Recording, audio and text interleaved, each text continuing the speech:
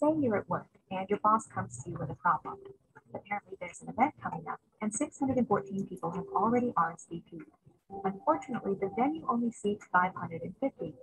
So how many folding chairs are we going to need to seat all the extra guests?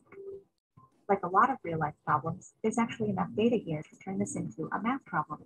You could even think of it as a word problem. Remember doing those in school? So and so has 14 apples, she gives five of them away, you know the rest.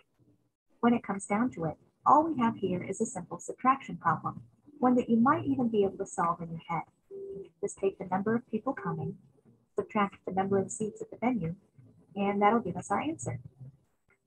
Now watch. We're going to move the equal sign to the beginning. And with this one tiny change, it's now in a format that Excel can understand. For bonus points, you could even change the numbers to cell references. See how it works? Let's take a look at the answer. Looks like we're going to need 64 extra folding chairs. And because we use cell references, we can change the number of people attending, and the answer will update automatically. Sometimes getting from problem to formula is easier than you thought it would be, like you just saw. Then there are times when you get stuck somewhere in the process and you're not sure how to continue. The important thing to remember is that you're still most of the way there, even if you're feeling unsure. You just have to break the problem down into more manageable chunks. Say you're this guy, and you've been thinking a lot about your finances lately. You want to save up enough money to buy a brand new, totally awesome jet ski. Here's the problem. The jet ski costs $6,000. You're planning to raise the money over time by saving $110 each month. How many years will it take to save the full amount?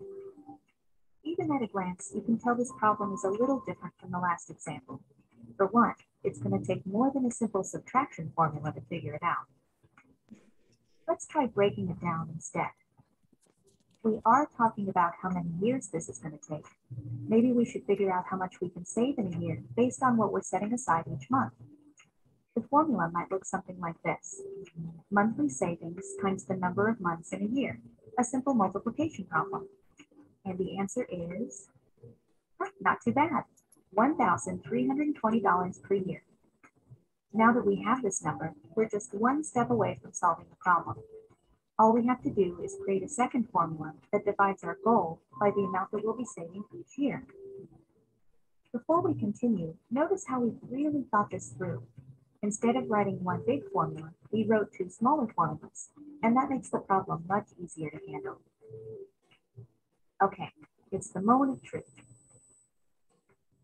Looks like it'll take about four and a half years to save enough money for the jet ski. Man, it's a lot longer than I thought it would take. Maybe you can buy a used jet ski.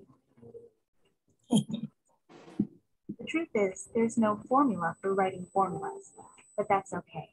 The journey from point A to point B is rarely as treacherous as it seems.